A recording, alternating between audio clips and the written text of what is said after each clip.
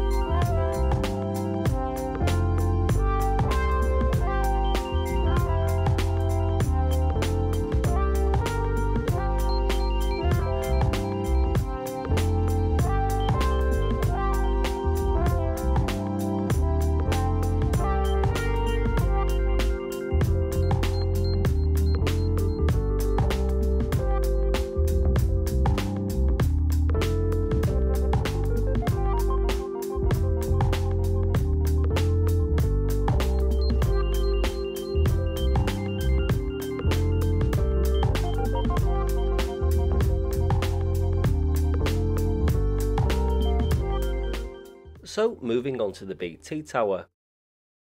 Today this is just used by the mobile phone companies and you can see lots of their panel antennas, transceiver units and microwave dishes up and down the tower. When it was built in the 1980s, this was full of large BT microwave links heading off in different directions as part of the wider network, but these have been removed and placed with cellular infrastructure, which of course BT is still involved with, via the EE network. From the late 1950s to the 1980s, BT's microwave network provided a large part of its trunk communications capacity and carried telephone, television and radar signals and digital data, both civil and military, across the whole country. Hunshelf Bank linked towards Tinshill in the north and towards Telephone House in Sheffield and Whiteborough down to the south. The BT microwave system was eventually rendered obsolete by the 2000s and was gradually replaced by the installation of a national optical fibre communications network with considerably higher reliability and vastly greater capacity. You can still see all of the mounting brackets which held the microwave dishes in place. At the top of the tower is a set of airwave vertical antennas which provide police radio coverage to the area and if you'd like to know more about this topic then check out my last video where we look in detail at the airwave system. At the bottom of the tower is the original microwave transmission building which at one time would have housed all of the transmitters that fed the dishes up and down the tower. Nowadays it looks like it's unused, with cut feeders protruding from the panel on the side. Today the feeder trays are still in place, but instead they route the coax cables down to the ground and into some trunking that goes under the dirt track in the direction of these huts. Each hut has coax cables entering it, and inside are transmitter units for the mobile phone companies. Now let's take a look at the broadcast tower, The oldest user here is the television relay that serves this area that sits low down behind the hill, shielded from the signal path of the main transmitter over at Emley Moor. This is a classic digital television relay with its eight crossed log periodic antennas in phase rebroadcasting the signal from Emley Moor over Stocksbridge town. You can see how the crossed array causes two lobes in the signal path. The receive antenna that picks up the feed from Emley Moor is this single log periodic at the back. Stocksbridge was built in the early 1980s by the IBA and entered service in July of 1980. It served 1,550 people, relaying BBC One on UHF Channel 58, BBC Two on UHF Channel 64, ITV on UHF Channel 61, and UHF Channel 54 was reserved until the 29th of August 1986, when Channel 4 began to broadcast from here. The output power of Stocksbridge analogue television transmitter was 12 watts. Analog television was broadcast from here until digital switchover works were carried out on the 7th and 21st of September 2011. From then, the BBC A multiplex was on UHF channel 49, BBC B was on UHF channel 54, and D3 and 4 was on UHF channel 58. From February the 5th, 2020, 700 MHz clearance took place here, meaning that the frequencies were changed. For more about 700 MHz clearance, I'll link a video below where I go into more detail.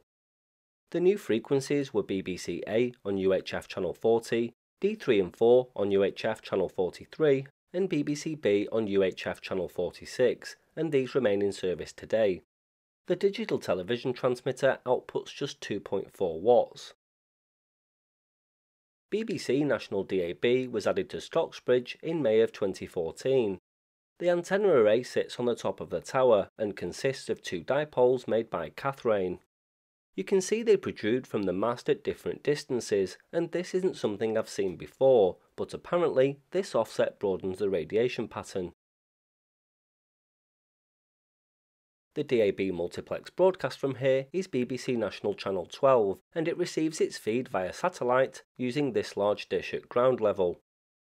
There's a smaller dish on the mast too, which is probably for telemetry. Relays have telemetry feeds for monitoring, either by ADSL or fibre, or at sites like this where a line isn't available, they use satellite. Also on the farm is this small lattice tower, which at one point in time housed a couple of dipoles. What they did I can't be sure, but today it sits empty. At the bottom is the transmission hut, and the compound is surrounded by a fence. So that's a look at Stocksbridge or Hunshelf Bank, whichever you prefer. If you'd like to see more transmitter site tours, then let me know in the comments. There's also an ever growing playlist down there for you to binge too.